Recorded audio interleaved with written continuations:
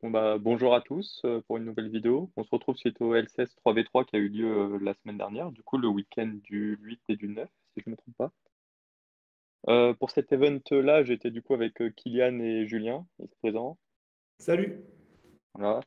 alors Kylian, qui doit pas forcément être connu de tous, qui est un joueur du Sud, et Julien, que certains doivent peut-être connaître par rapport aux deux LCS précédents, où il a fait top 16 ou top 8 et euh, top 4 euh, au suivant, je sais plus exactement. Ouais, top 8 et top 4, c'est ça. Voilà. Euh, les deux fois, il jouait Prank Kids. là, il a encore joué ça. Et du coup, Julie, Kylian jouait aussi Prank Kids. Voilà. Et moi, je suis parti sur la liste que vous voyez là sur l'instant, pour l'instant sur Dragon Link. quand on a créé l'équipe, au début, j'étais avec Julien. et ensuite, on a proposé à Kylian. Et en fait, on était parti dans l'idée que Prankid, c'était le meilleur deck pour battre euh, les autres decks qui allaient être joués. Donc, à savoir principalement du Dragon Link. Ensuite, euh, pas mal de mirror match, vu que ça avait pas mal top au, LCS précédent. On savait que les gens allaient plus le ramener. Mm. Euh, contre Alester aussi. C'est meilleur quand vous êtes joueur 2 que quand vous jouez Dragon Link en général. Voilà. Pour ce genre de, de raisons, on s'est dit que jouer au moins deux Prankids dans l'équipe, c'était euh, c'était plus que correct. Et, euh, et, que le troisième deck pouvait être un peu plus variancé que Prankids. Et normalement, les deux Prankids allaient plus ou moins, entre guillemets, tenir la route, ça allait être suffisant. Et du coup, c'est ce qui s'est passé. Euh, vous avez autre chose à ajouter avant qu'on passe aux listes ou... Non, non c'est parfait. ok, ok. Voilà, du coup là sur la première liste, du coup c'est ma liste, la liste du joueur A. Je jouais euh, du coup Dragon Link, comme vous avez pu voir, euh, comme vous avez pu voir précédemment sur la chaîne. Donc je jouais un Ops routeur. Euh, contrairement à avant, je jouais 3 H. H c'était assez important justement pour Kids et parce que c'est pas mauvais contre Alester aussi. Mais en mirror match, c'est quand même assez faible.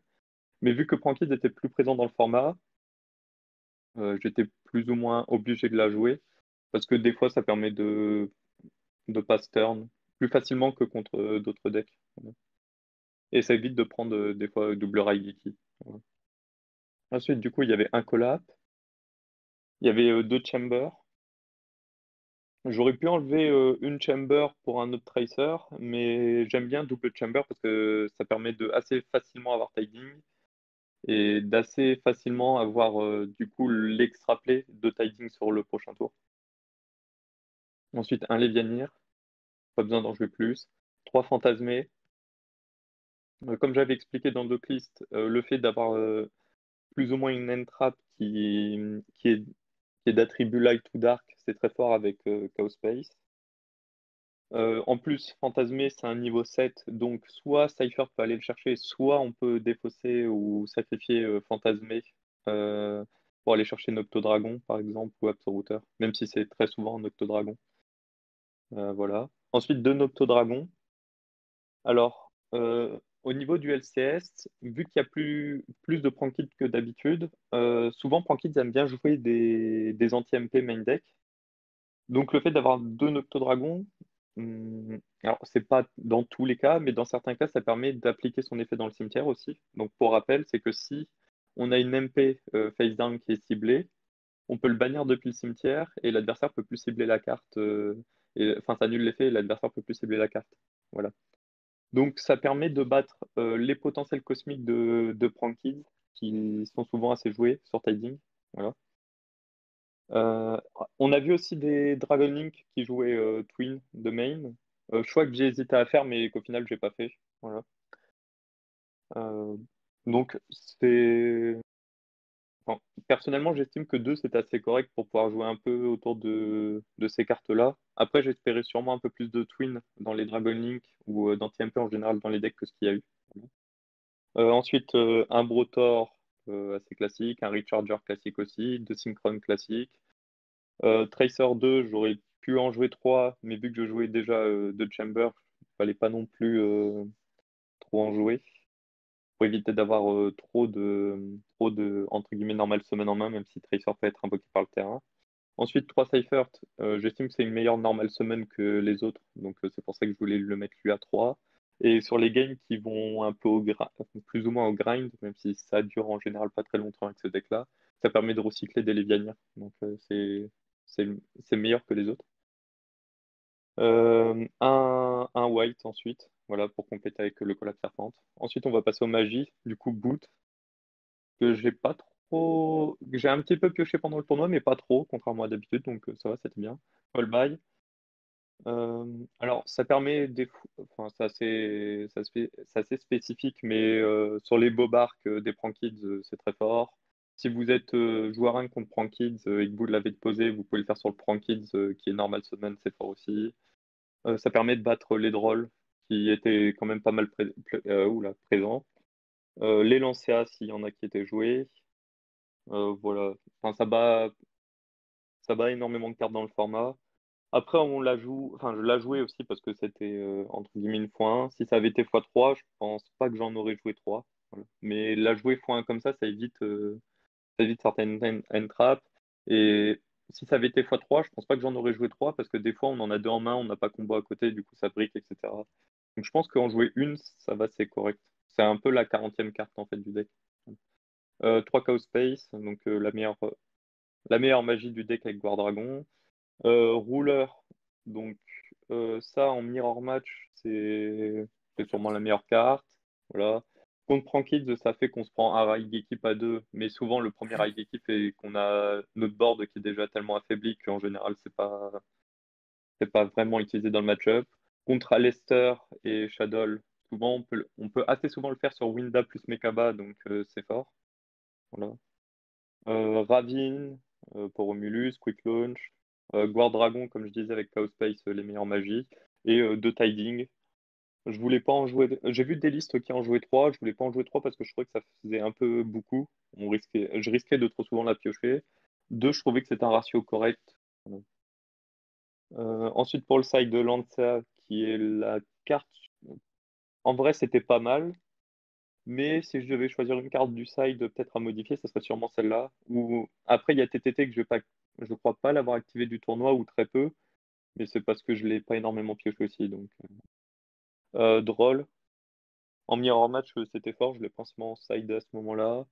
Aussi, euh, aussi contre Leicester, parce que c'est pas mauvais. Ça évite. Des fois, ça évite de se prendre schiste. même assez souvent. TTT. Donc, c'est surtout quand je commence ou aussi quand je vais être joueur 2 contre des decks avec Dragoon. Ça permet de voler Dragoon. Et, et, on est assez tranquille en général si, on arrive à faire ce setup-là. Twin. Donc, avant euh, avant ce format-là, je jouais euh, Cosmic, surtout, euh, de souvenirs. Ou je jouais aussi des. Je jouais aussi la triplette Plumeau, Red Reboot, et... et ça devait être Pancra, je pense. Sauf que vu que Prankit est dans le format et qu'il peut vous faire pander que en main phase, faire des twins en stand-by, c'est devenu meilleur. Et ensuite des cartes pour Going First, donc double anti-spell et order. Si vous en touchez une en mirror match, normalement vous avez gagné. Euh, il y a plein de match-up aussi où c'est très fort contre tout ce qui est à Leicester ou autre. Si vous en activez une et que vous avez résolu un combo, même s'il n'est pas complet, genre juste euh, le plus euh, Savage, normalement vous avez gagné aussi. Voilà. ensuite, pour passer à l'extra, du coup, Savage, Rouleur et Hot Red. C'est les trois mêmes synchro que d'habitude. Apollousa soir pour les Link 4. Je suis encore resté sur Apollousa, elle m'a pas mal servi pendant le tournoi, ça permettait pas mal de, pas jouer autour de Super Poly aussi. Parce que si je fais euh, Hot Red euh, Savage, bah, je peux me prendre Super Poly sur deux Dark. Alors que Apollousa, ça permet de faire euh, une negate, voire même multiple negate, mais tout en se prenant pas Super Poly. Et en joueur 2, ça peut être très fort aussi pour pouvoir OTK sous des Nibiru ou Train Trap. Voilà. Euh, il y a aussi une game, c'est ma game du top 8, où j'ai pris Cherries sur Seal, donc euh, Hieratic Sphere, euh, Hieratic Seal. Et du coup, j'ai fait euh, en zone extra. C'était la seule fois du tournoi où je l'ai fait en étant premier, mais ça a été utile aussi à ce moment-là. Donc, euh, sort aussi pour terminer les games en joueur 2. Fiber, parce que c'est souvent c'est le meilleur extender si nécessaire après avoir pris Nibiru. Parce que Seal permet de spé euh, un... souvent c'est avec Tracer. Et ensuite, on va pouvoir faire Fiber pour se PO synchrone. Et si on a besoin, si on a de quoi extendre suffisamment pour continuer à faire un bon combo. Romulus, la Ravine. Ensuite, euh, LP Pisty, euh, Seal. Euh, Quad Borel, je pense maintenant tout le monde le joue, même s'il y avait des périodes où il n'était pas forcément joué, je pense maintenant tout le monde le joue. Et trois strikers, c'est assez classique.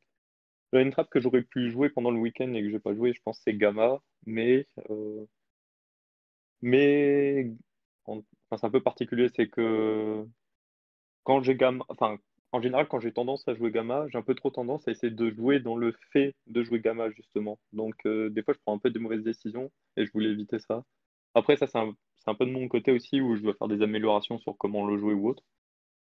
Mais euh, Mais je sais pas, en géné- en général, quand je le joue, je suis pas assez satisfait de le jouer et voilà. Ça m'a, ça m'arrive trop souvent de perdre parce que j'ai Gamma plutôt qu'autre chose. Donc c'est pour ça que je voulais pas le jouer. On avait réfléchi aussi à si je devais jouer Droll main deck ou pas. Sauf que je préférais ces 9 free spots là que j'ai joué que Droll main deck. Voilà. Donc je pense maintenant on peut passer à la liste B. Du coup, c'est la liste de Kylian. Ouais.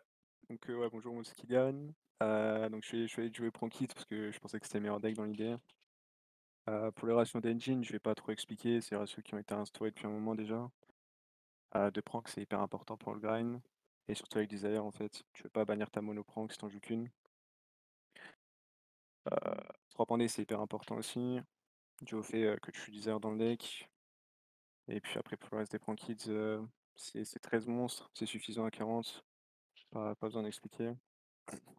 Euh, pour l'idée des free spots, euh, j'ai choisi 3 H, 3 drôles et 3 nib.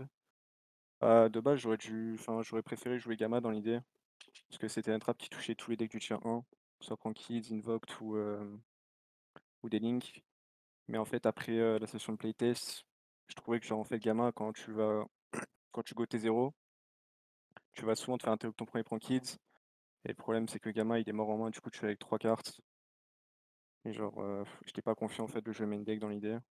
Mais je pense que ça aurait été un meilleur choix en soi, si tu mets ta code des 3 decks tier 1 du format. Donc voilà, et aussi je voulais jouer à 40, ce qui était un peu difficile si tu voulais mettre Gamma main deck. C'était un choix psychologique dans l'idée, mais. Et voilà. Après j'ai mis 3 cosmiques. Je jouais un pet, euh, un pet MP générique dans l'idée. J'ai déjà un point pour régler le problème de la de la schisme et de la tiding. Euh, Super Poly, qui est la meilleure carte du week-end dans l'idée. Elle me fait remonter les boards un passage de Dragon Link avec Red et Borload. C'est juste la meilleure carte. Et même quand tu la set en gros contre des Link going second, euh, c'est la meilleure carte aussi. On peut te faire win, genre. euh, Elle est trop forte. La Dragon, euh, c'est pareil dans l'idée. Elle est un peu moins forte que Super Poly, mais elle est tout aussi impactante. Si t'as ces deux cartes là en main contre des Link going second, t'as- tu peux, tu peux facilement gagner en gros. Et aussi, euh, c'est une bonne carte dans le mirror.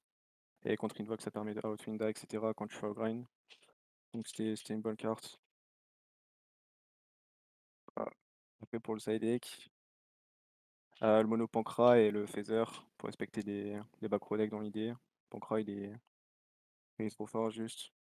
Euh, les trois twins par rapport au mirror match et aussi parce que fallait respecter les back row deck.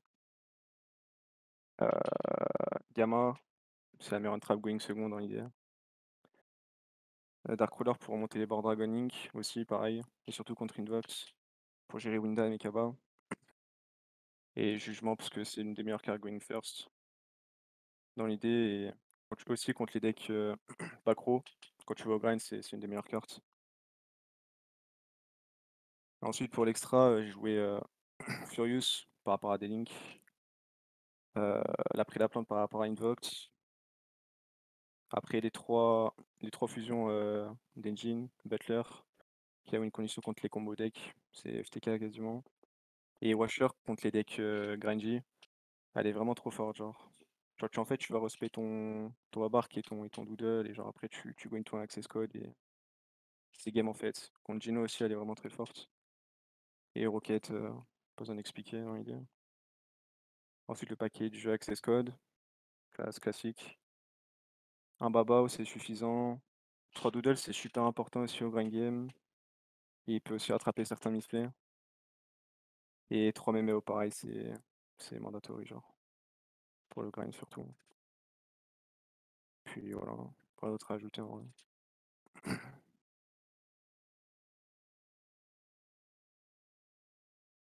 Voilà, donc on va passer à la liste de Julien, du coup. Ouais, c'est ça. Du coup, euh, moi pour le coup, j'avais des choix qui n'étaient pas forcément les euh, choix de tout le monde. Au niveau des franchises, du coup, j'en joue 10 avec 3 terrains, donc ça fait aussi 13 starters. Et j'ai fait le choix de jouer que un Roxys, parce qu'en vrai, je préfère avoir euh, Place qui permet de tuto n'importe quelle franchise que Roxys. Après, ce qu'il faut faire, euh, faut faire attention quand on joue que un Roxys, c'est à pas le bannir avec Desire. En général, on peut jouer le deck avec, euh, on peut jouer le deck sans Roxys. Roxys, c'est quand même un, sacré plus, donc on fait attention à ça. Et euh, j'étais assez serein avec ce choix, parce qu'au final, ben, je vais essayer quand même de résoudre au maximum mes franchises avant de faire Desire. Et j'ai pas eu le souci durant le tournoi d'un Roxys banni qui m'aurait gêné. Ensuite, euh, pour ce qui est de Pandé et Prance, Kylian a expliqué, c'est à cause de Desire, en fait, on est obligé de jouer des exemplaires multiples, parce que si on ne peut pas jouer sans Pandemonium euh, ni Pranks dans le deck, tout simplement.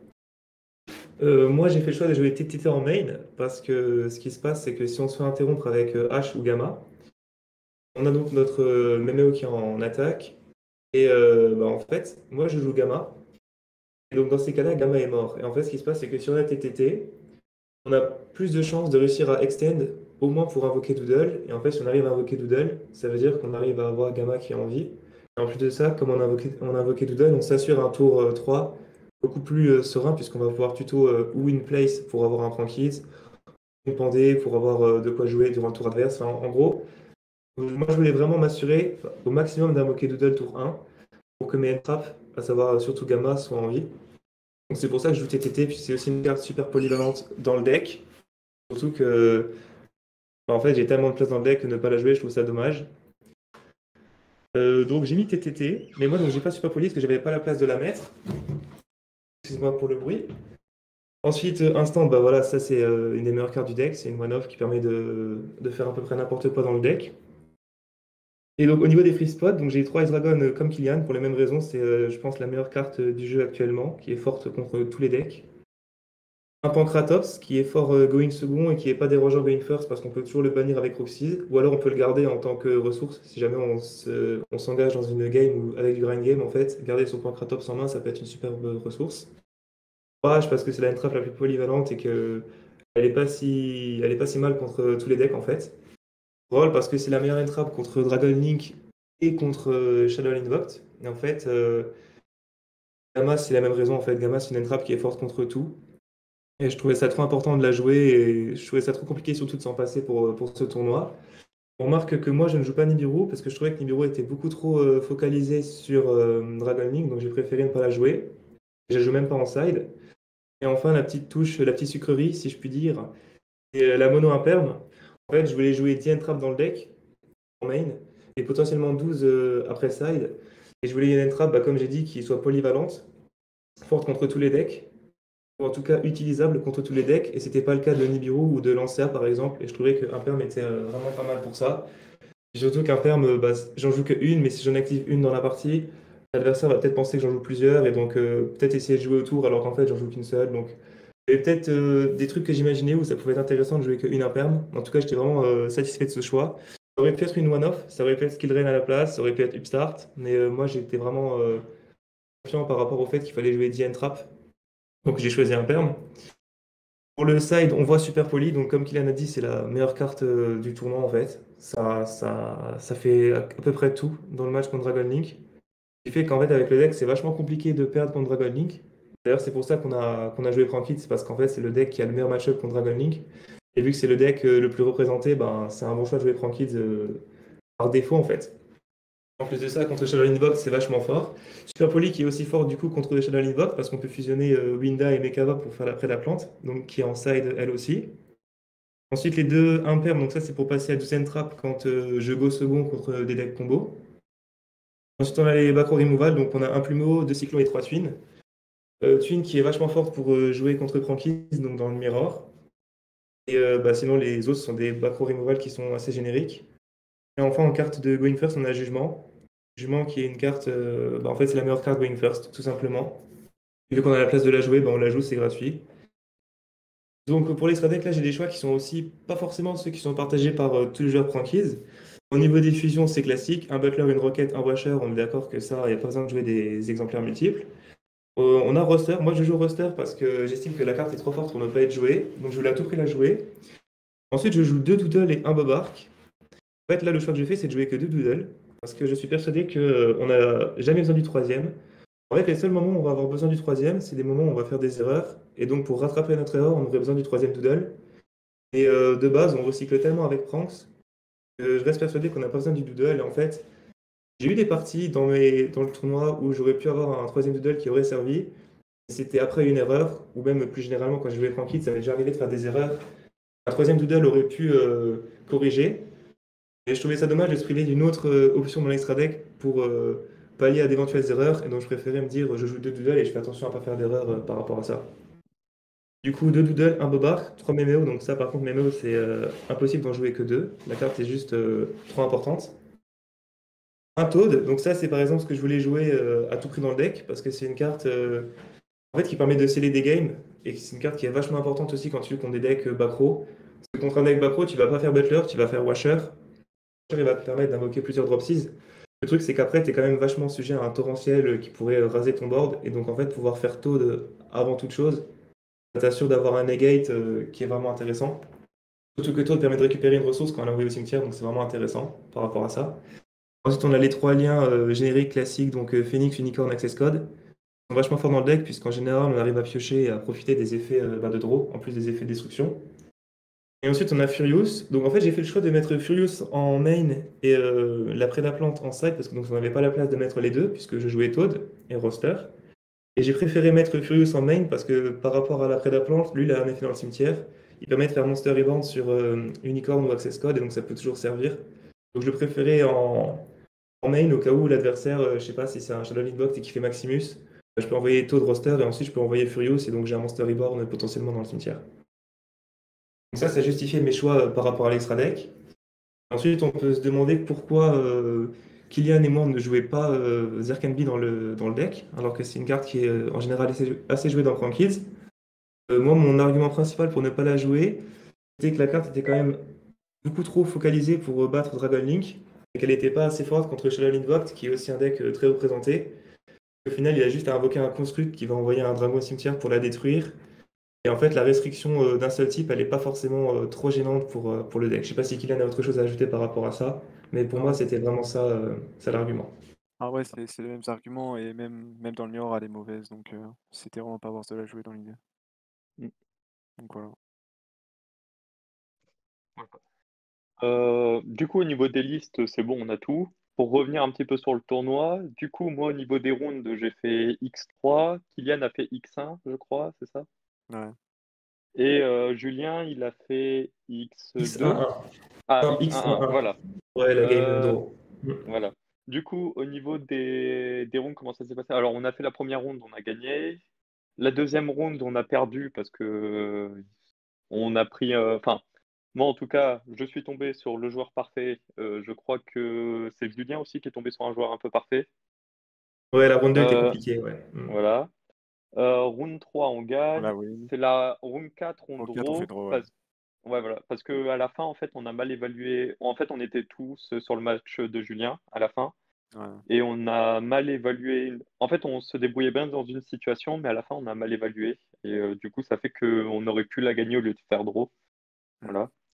Sauf qu'au final, on s'en tirait qu'un draw, donc euh, on savait que pour top, si on continuait à gagner, euh, ça allait. Du coup, tout le reste des rounds, on a gagné jusque la septième round, voilà, parce qu'il y avait sept rounds. On arrive en top, top 8, du coup. Euh, Julien, il perd euh, assez rapidement. Voilà. On a regardé le replay, c'est parce qu'il a fait une petite erreur de jugement par rapport au deck en face. Voilà. C'est ça, en fait, on pensait jouer euh, contre Dragon Link et c'était un Eldritch Trap. Et donc, en fait, j'avais un... j'avais fait un setup pour gagner contre Dragon Link et c'était Eldritch Trap. Donc, j'étais vachement déboussolé par rapport à ça. Et ensuite, j'ai fait une erreur et ça a enchaîné assez rapidement. Voilà, parce qu'en fait, euh, Kylian et moi, on jouait tous les deux contre Dragon Link, et Julien, il commençait, donc on s'est dit, il doit sûrement jouer trois fois le même deck. Parce qu'en plus, si tu joues euh, si tu joues un deck différent de Dragon Link dans ta line-up, normalement, tu joues pas Edlift Trap. Voilà. Euh, au final, c'était ça. donc Julien a perdu assez rapidement, parce qu'en plus, il a briqué à la 2. Et euh, du coup, de mon côté, Kylian et moi, on arrive euh, à gagner. Du coup, ça va, ça remonte. Mm. Le top 4, je crois, on a tous gagné, si je me trompe Ouais. pas. Ouais, Voilà. Ouais, c'est ça, ouais. Mm. Et en finale, il se passe l'inverse du top 8, c'est-à-dire que moi, je perds assez rapidement. Euh, en regardant le replay, en fait, j'aurais pu, euh, j'aurais pu potentiellement gagner, mais il fallait voir la situation. En fait, il fallait que je fasse, euh, pour ceux qui ont vu euh, le match, il fallait que je fasse effet de style en stand-by, ensuite quand il est normal au Raptor que je fasse trade dessus. Sauf que vu qu'on jouait tous contre Dino, euh, moi j'étais parti dans l'idée que si j'essaye de faire ça, il y a, y a sûrement mis en main en fait, vu qu'il a fait un, vu qu'il a fait un fantasmé. Du coup, je peux pas simplement faire euh, Boons, euh, fantasmé euh, quand il est normal un Oviraptor, je fais trade dessus, voilà. Parce que si je me prends, si je me Missé, j'ai perdu. Bon, j'ai quand même perdu malgré ça, mais voilà. Ensuite, Julien, de son côté, gagne assez rapidement aussi, je, je crois, si je me souviens bien. Oui, c'est ça, ouais. C'est Voilà. un- c'est- c'est 2-0 assez rapide. Comme ça, on peut aller Voilà. sur la dernière game. Ouais. Voilà, et du coup, après, on va tous sur le match de Kylian. Et euh, Kylian qui perd la game 2 parce qu'il y a eu call by. Sinon, il aurait sûrement 2-0 aussi, si je me souviens bien. C'était ça, non? Ouais, il me fait call by, après il me fait, il me fait sa loupe euh, d'animal et Ouais. genre il me fait un setup avec Dweller, UTC, c'était impassable. Voilà. Et game 3, après, bah, je déroulais et après au bout d'un moment, je suis le top deck Pancra et c'était game en fait. Il n'y a pas que ça aussi. Il y a le, le top deck DN Trap du T0, il était pas mal celui-là aussi. Ouais. Pour ceux qui n'auraient pas vu, c'est euh, Roxys donne une, euh, trap, euh, en donne une autre, et euh, Pranks en fin de tour euh, donne une troisième. Voilà, donc euh, on Ouais. s'est mis euh, vraiment bien. Les hommes. Voilà, donc c'était un peu le résumé de tout le tournoi. Est-ce que vous avez des choses à ajouter, des remerciements à certaines personnes? Voilà. Ouais. Ouais, shout out à tout le monde, euh, tous les mecs qui ont essayé. C'est tout. Voilà, Julien. Bah, merci à vous parce qu'en vrai, euh, j'ai quand même bien progressé avec ce LCS. C'était une bonne expérience. Donc, ouais, merci à vous. C'était cool. C'était parfait. Voilà. De mon côté, bah, merci à tous ceux qui nous ont suivis, même si on n'a pas trop communiqué dessus. Euh, il y a, pour ceux qui ne le savent pas, il y a Ryan aussi qui a fait l'event et qui a fait top 8. Donc euh, ça va, on a réussi à placer euh, deux joueurs quand même dans le top 8 de notre côté au niveau de la BCP. Et ça faisait du coup euh, six francophones euh, dans le top, donc c'était euh, vachement sympa. Euh, pour ceux qui n'ont jamais essayé euh, ce format-là du 3v3, c'est vraiment un format intéressant parce que comme on en a parlé à la fin, vous pouvez vraiment aller voir les matchs des personnes avec qui vous êtes pour les aider une fois que vous avez fini, ou même pendant que vous êtes en train de jouer, s'ils ont besoin de certains conseils ou autres, vous pouvez le faire. S'ils ont besoin de jouer autour d'une certaine entrap plutôt qu'une autre, vous pouvez dire que vous, vous avez vu telle entrap dans tel deck. Voilà. Il y a plein de choses qui font que c'est un format vraiment intéressant. Voilà. Donc euh, espérons qu'en Europe, on ait un YCS 3v3 comme ils ont eu aux États-Unis, parce que c'est vraiment un bon format. Voilà. C'est à peu près tout ce que j'ai à dire enfin, personnellement. Voilà. Est-ce que vous avez quelque chose à rajouter? Non, moi c'est bon. Ah, parfait. Bon. Bon bah bonne fin de vidéo. Au revoir. Tchuss